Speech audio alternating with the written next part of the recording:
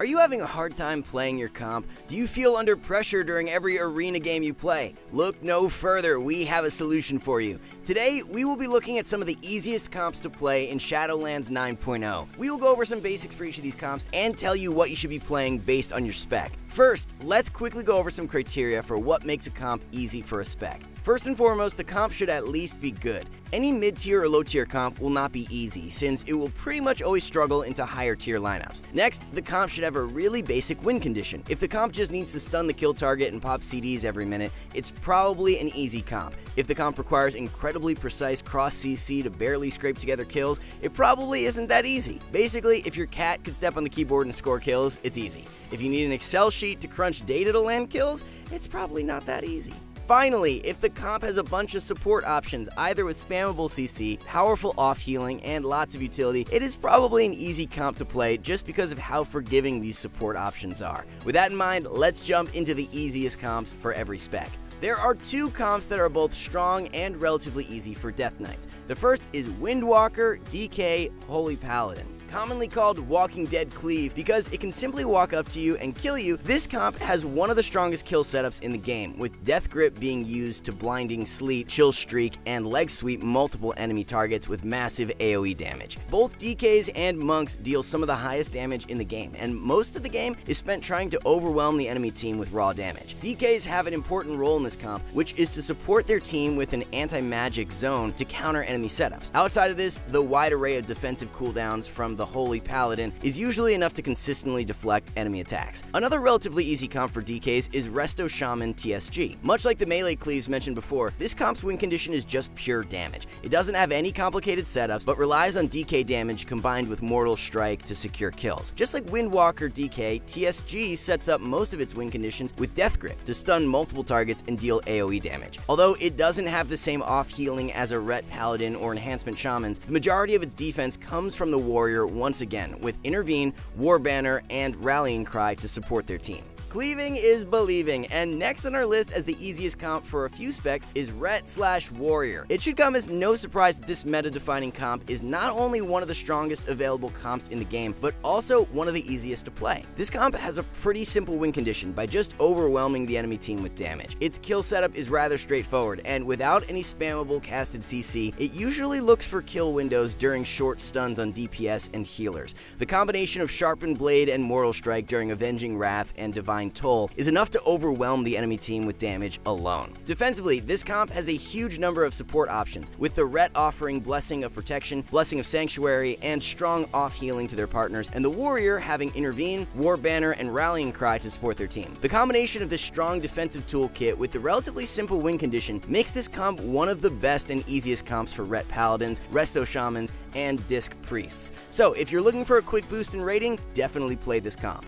Next, we have Turbo Cleave, which is very similar to Ret Warrior, but with less Wog and more Zug Zug. Its win condition is really straightforward. It revolves primarily around Shaman's offensive cooldowns with Bloodlust and Doom Winds by using Bloodlust on the Warrior for a huge spike in damage. Once again, the combination of these cooldowns with a Mortal Strike effect just overwhelm the enemy team with damage, with hardly any CC needed on the enemy team. Defensively, both Enhancement Shamans and Arms Warriors offer their team lots of support options. Enhancement Shamans have a well-rounded toolkit of support with some some of the best off healing from any hybrid DPS in the game. Combined with Grounding Totem and Tremor Totem, they have lots of tools to shut down enemy setups, all while being disruptive with their ranged interrupt. This comp is both strong and the easiest setup in the game for enhancement shamans and warriors. A wise wizard once said, those who can't play mages play hunter, those who can't play hunter play jungle cleave. And with that, we have the easiest comp for both hunters and feral druids with hunter slash feral slash priest. Ironically, this comp functions similar to rogue mage. Look looking for win conditions based on long CC setups on healers. The strength and ease of play on Jungle Cleave comes in the form of this control. It has a very streamlined strategy of stunning one or more targets, trapping the healer off the stun, and following that up with a Psychic Scream or Cyclone. Its defensive options are a bit mixed. Feral Druids have surprisingly good off healing, and with the spammable Cyclone, they offer consistent control in between setups.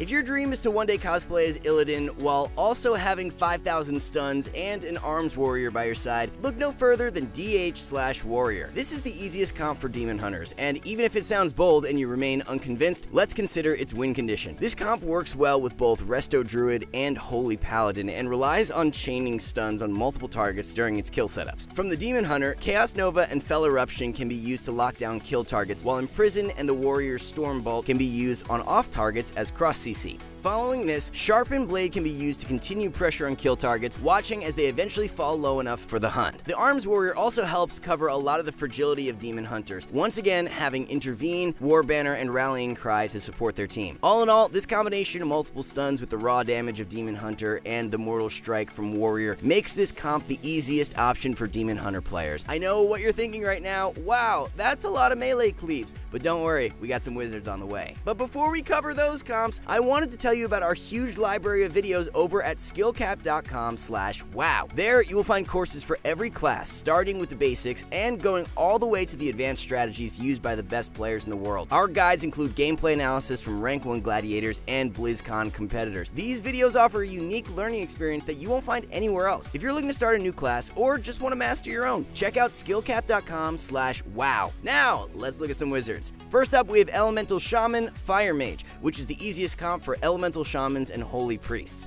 Just like the melee cleaves we mentioned, this team just has a lot of raw throughput and burst. Both fire mages and elemental shamans can deal huge damage when left unchecked, and their burst cooldowns are always threatening for the enemy team. With lots of instant cast damage from the elemental shaman in the form of echoing shock and stormkeeper, the shaman can pressure opponents by themselves, even when the mage is getting trained. And if the mage is left alone, they can easily land control on enemy healers along with hexes and lightning lasso on DPS, all while threatening their biggest win condition with combustion, which is even scarier scarier when combined with Skyfury Totem. With a mage on the team, there are a lot of control options, both with slows and snares, and with spammable CC. The Shaman also offers team support in the form of control, off healing, and with grounding and tremor totem to deny enemy setups. A long time ago, in an Azeroth far, far away, mages used to play an ancient spec called Frost. Then, just like our ancient ancestors, they discovered fire, and the game has never been the same. Named originally after a Frost Mage mechanic, Shatterplay comes in as the easiest comp for Shadow Priests, Mages, and Holy Paladins. No matter what spec of mage you're playing, the comp plays relatively the same. Its primary strength is the amount of CC options it has for all three people on the enemy team. Even without polymorphs on the enemy healer, this team has enough instant CC to quickly kill enemy players, and with strong cooldowns like Combustion, there are a lot of kill options for this comp. Defensively, the Mage offers support for their team with spammable CC, while the Holy Paladin offers lots of defensive coverage with their enormous amount of cooldowns. The additional option option of dispelling crowd control with Mass Dispel allows the Holy Paladin to play more aggressive, making it easier to set up kills. With patch 9.0.5 just around the corner, there is one class we have yet to mention, Warlock. Even though this class is underperforming compared to previous expansions, it is still relatively strong, and a complex Shadow Play is its easiest option in 3v3. Shadow Priests offer offensive support for Warlocks, having both Dispel Protection with Vampiric Touch and instant CC options with Silence, Fear, or Psychic Horror. This opens up a pretty standard caster cleave playstyle, with one caster getting trained while the other does most of the pressure on the enemy team. Both Shadow Priests and Warlocks can do amazing damage if left unchecked, and their win condition is usually based on combining damage with their instant CCs. Having the defensive support from a Holy Paladin is almost mandatory for Warlocks, who are relatively fragile outside of their kiting and defensive cooldowns.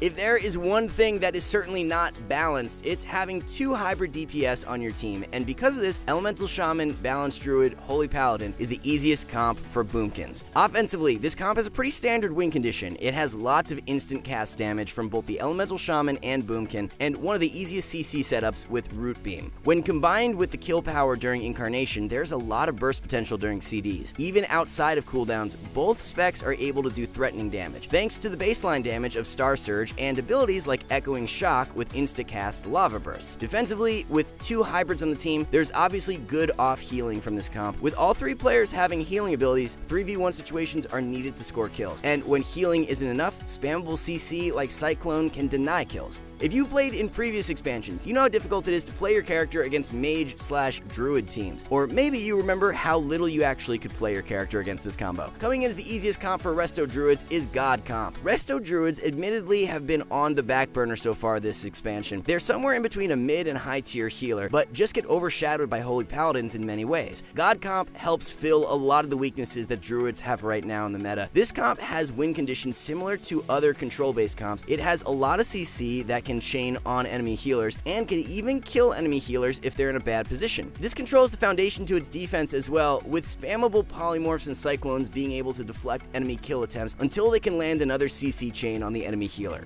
Finally, it's time for some controversy. Even though some people will convince you that you need multiple PhDs to play RMP, it is actually the easiest comp in the game for rogues. But to avoid getting ganked on our alts by angry rogues hearing this, we will have to admit something. Rogues do not really have many viable comps outside of RMP. Its win condition is a bit more complicated than some of the other comps in this list. It does require cross CC, with stuns being used on multiple targets to ring or polymorph, but the comp pretty much plays itself. Once you get the scripted setups down, it's all repeating them until the enemy team is out of cooldowns. Defensively, there are a lot of control options from both the rogue and mage to deny kill attempts on the RMP. Having a spammable CC with polymorph on DPS can deflect enemy kill setups and prolong the game long enough to have another offensive push. And there you have it, the best comps for every spec. Not only are these comps strong, but they are played in a way that makes it easier to learn the foundational skills in Arena. If you're looking for a way to get into Arena, or if you're looking to push rating, try playing one of these setups. And once again, if you like this video, be sure to give us a like and let us know in the comments which comp you think is easy to play. If you want to stay updated on future videos, make sure to subscribe and turn all notifications on. That way you will be notified when we release a video. See you soon!